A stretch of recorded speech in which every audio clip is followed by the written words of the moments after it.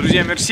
Сегодня бы хотел осветить один очень интересный вопрос, который связан вот э, с последней тенденцией переезда из города в деревню. Я смотрю, ну, то ли это движение как бы набирает обороты такие серьезные, люди мне уже звонят, там что-то спрашивают.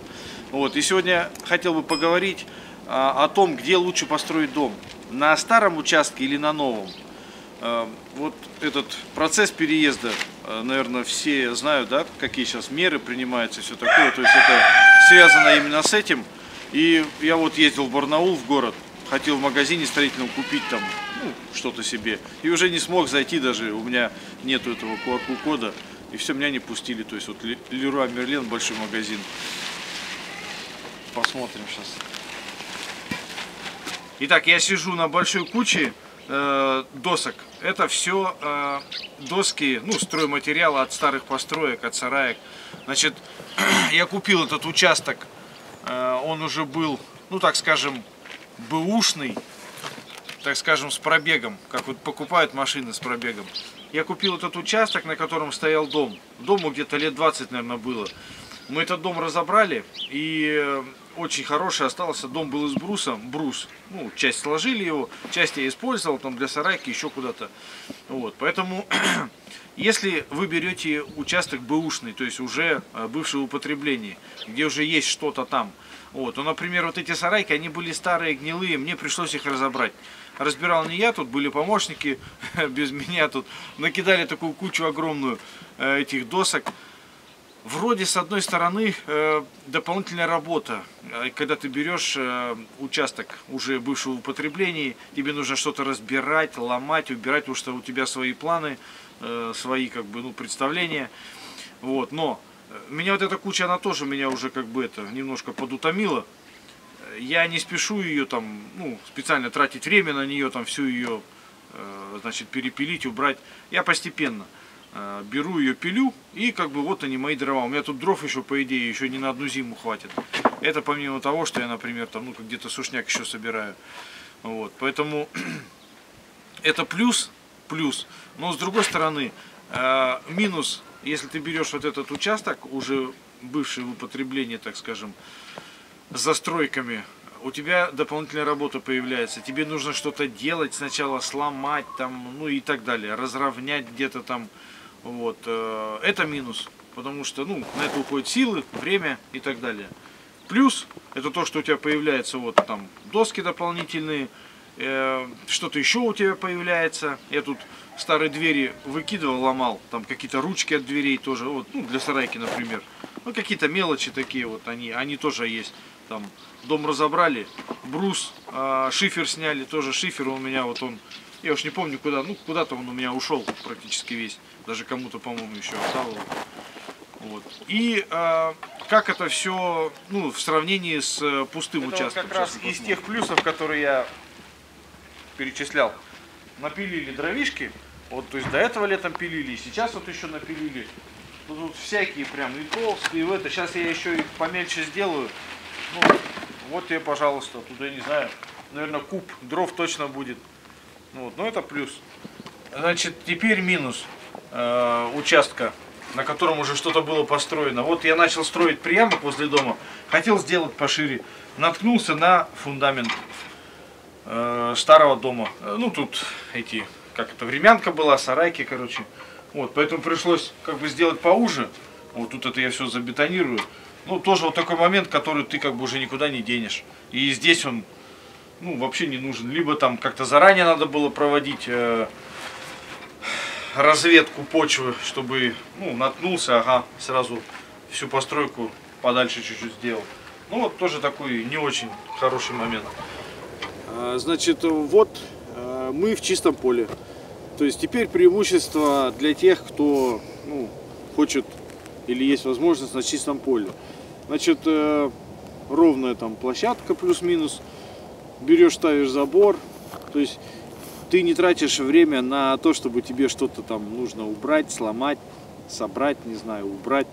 Вот. И ты уже начинаешь уже прям с нуля сразу берешь и строишь. Но как бы у тебя нету дополнительных там досок каких-то гнилых, там дров, там еще чего-то, столбушков, не знаю. Ну, тоже такой момент, вот. Ну, все это можно привести, если ты делаешь с нуля, если ты начинаешь стройку, в принципе, надо быть на это готовым, привести стройматериал там. И первое, с чего, ну, как люди советуют, а у меня, конечно, не, не совсем было так, потому что у меня от старого участка был забор. Вот. Но первое, что советуют, это сделать забор. То есть, ну там, как можно э, больше вокруг своего участка, где вот по плану, как можно больше закрыть, чтобы здесь что-то положить можно было, чтобы сюда скотина какая-то не зашла и так далее. Вот. Поэтому все-таки, какой лучший участок, наверное, мне кажется, ну, наверное, по месту, да, э, придется выбрать.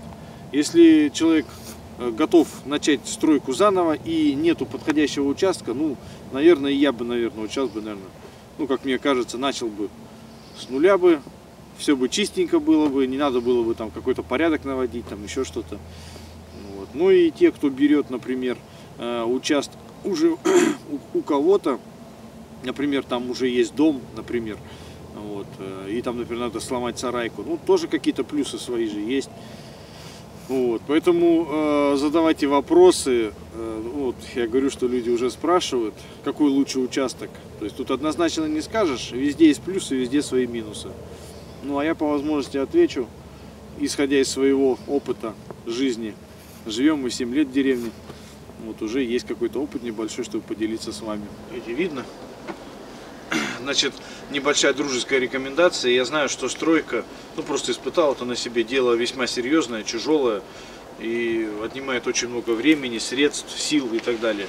И для тех, кто переезжает, я что хочу сказать, не, не пытайтесь делать все сразу прям, ну, капитально. Ну, как бы, наверное, это тяжело, это затратно, времени там, если есть возможность, конечно, можно делать сразу все. Ну, вот, например, э, воду я подвел вот таким способом. То есть у меня пока нету колодца, колодец у родителей.